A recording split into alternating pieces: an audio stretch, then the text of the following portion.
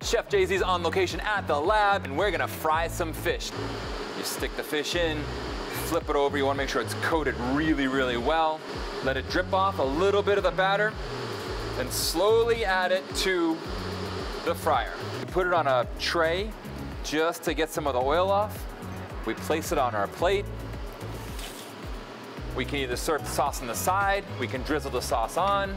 We're gonna do on the side, we're gonna do a little bit of cilantro. And again, a beautiful dish